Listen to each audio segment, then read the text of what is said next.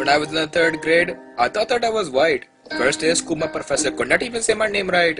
When I was in the third grade, I thought that I was white. First day of school, my professor could not even say my name right.